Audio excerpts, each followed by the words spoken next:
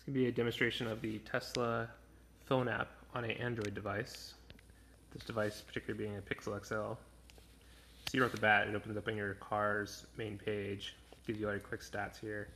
So then ours says Model 3, that's just, you can name your car to say whatever you name it. How many miles you have on your car currently. Uh, the fact that right now we are currently charging and our time until we hit our set point.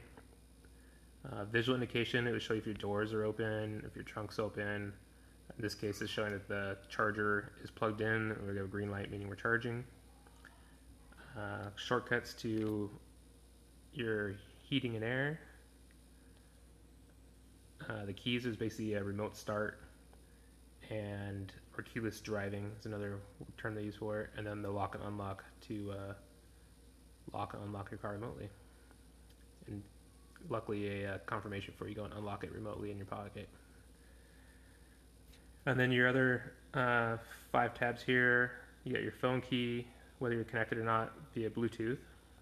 For Model 3, if you're worried about your phone being too close to your car, where you park it, and say the car is outside your driveway and your bedroom's right by there, it's a good way, easy check to see if you actually can be interfering there. uh, climate control, you can go in there, it shows you right here what your interior climate is. You can go and turn it on, it shows you indication that it's starting to blow air in and the, what temperature. So blue and it gets cold air. You can turn it up. White, just more like fan, and then red, hot. So we'll knock it back to where we where we like to leave it. Turn that back off. Controls, more of the same. So you can lock and unlock here. Flash your lights or honk your horn. That's good for uh, superchargers or somewhere else if you got somebody looking around or putting their hands all over your car, trying to look inside. You honk your horn at them from across the street and people will quickly move on.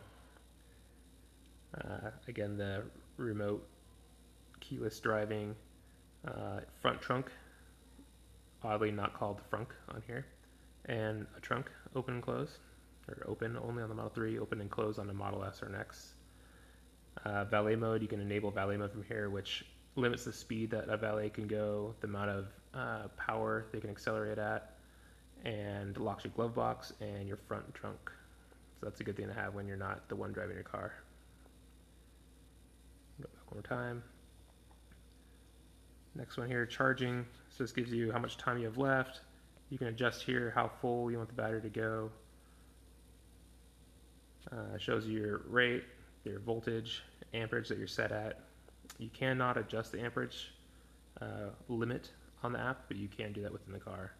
Uh, here you can just change the how full you want your battery to go, and you can also manually stop and stop, stop and start your charging. And then lastly down there is location, shows you where your car currently is, uh, which we're not going to go to right now. And but when you're in that mode, you can also see when the car, if you're not the one driving, you can see where the car is, how fast it's going, your location to the car, and it shows you based on a Google map. Um, little treasure box up there is just for the referral program. So if you run into people who are looking to buy a Model X or an S, there's discount codes here.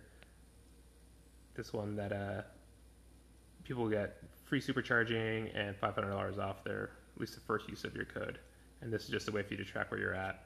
You can also share that with people, and they can uh, sign up to race the semi race the semi truck, which is kind of a cool new feature. This came out. We'll talk more about that another time. Settings here, you could turn on different cars. So we also have another Model S here, Model X. Uh, you can turn your loot box. Another shortcut to there. Uh, you can set your notifications for what you want to hear about. Um, so ping us when you got your security alarm, your charge has been started, interrupted, you can turn these on and off. Software updates is another good one to have. Summons, uh, not available on the 3 as of this recording, but for the RS it is. Uh, fingerprint author authentication, authentication, there we go. And uh, calendar sync, also not on 3 yet, but all those features are coming in due time. So there you have it. That's kind of a big summary to walk down of what to expect with your Model 3 or S or X and the Tesla app. They all pretty much look the same. And that's it.